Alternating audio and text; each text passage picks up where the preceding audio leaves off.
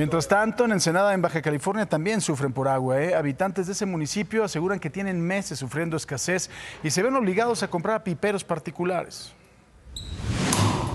Ensenada, sin agua. Últimamente se va demasiado el agua. O sea, hay veces que no tenemos por dos semanas. Sí estuvimos sin agua todo el mes. O sea, y cae por gotitas. Tienes, yo ya te contengo un tambo en el baño, ya es así como ya sé que tengo que estar prevenida. Esa es la realidad de los habitantes de Ensenada. Sus pobladores en los últimos meses viven la crisis del agua, una distribución deficiente que los lleva a comprar agua de pipas para realizar sus actividades cotidianas.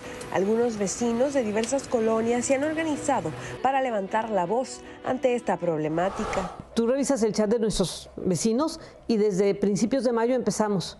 Oye, no tengo agua, oye, tengo muy poquita oye, eh, este, tuvimos unas poquitas horas, oye, nada más en las calles de abajo, en las de arriba no tenemos, no se ha llenado el tinaco, no se ha llenado la cisterna. Los piperos rondan la ciudad en busca de clientes necesitados de agua. Y es una hilera de dos cuadras de piperos recargando agua. ¿Cómo ellos tienen agua y no hay distribución en las casas? A mí que alguien me explique. Algunos de nuestros vecinos aquí te lo dicen claramente, yo he pagado cuatro mil pesos de pipas. Ah, pero tu recibo te llega por 800. Ahora sí que recibo de qué? Cada rato se revientan tuberías. Otros habitantes dicen que se han visto afectados hasta en sus trabajos por la falta de agua.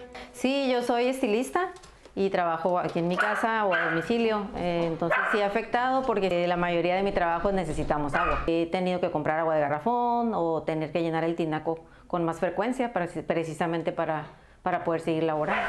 El alcalde de Ensenada acepta que están frente a una emergencia porque la gente que ahorita va a padecer las altas temperaturas y no cuenta con el vital líquido en su casa, es una emergencia, es vital líquido y hay quienes no cuentan con una economía para estar gastando 500, 600 pesos mensuales en compras de pipas para llenar el tinaco, baldes o tibores, que requerimos el apoyo de la Federación del Estado y la iniciativa privada para solucionar. Después de varias manifestaciones de habitantes, hace apenas unos días la gobernadora acudió a Ensenada, donde comentó que solucionaría este grave problema. Esta situación afecta a 107 colonias que reciben agua de manera intermitente y 30 más colonias que por su distancia o altitud no cuentan con el servicio de suministro. Mi prioridad es que garanticemos a cada una de las familias en Ensenada que cuenten con agua en sus hogares. Sin embargo, la diputada de extracción panista, Lizeth Matalozano, dice que las acciones han sido mínimas y que es necesario declarar Ensenada zona de desastre. La Secretaría de Gobernación tiene la responsabilidad de voltear a ver a nuestra ciudad y de brindarles herramientas tanto presupuestales como de eh, herramientas de la propia CONAGO que pueda resolver este problema. En Ensenada hay vecinos que dicen que continuarán manifestándose y quizás cerrando carreteras con el fin de que alguien les haga caso y que emprendan acciones ante la falta de agua y la cantidad de turistas que se esperan con la llegada del verano al puerto de Ensenada. Informó para Imagen Yolanda Morales.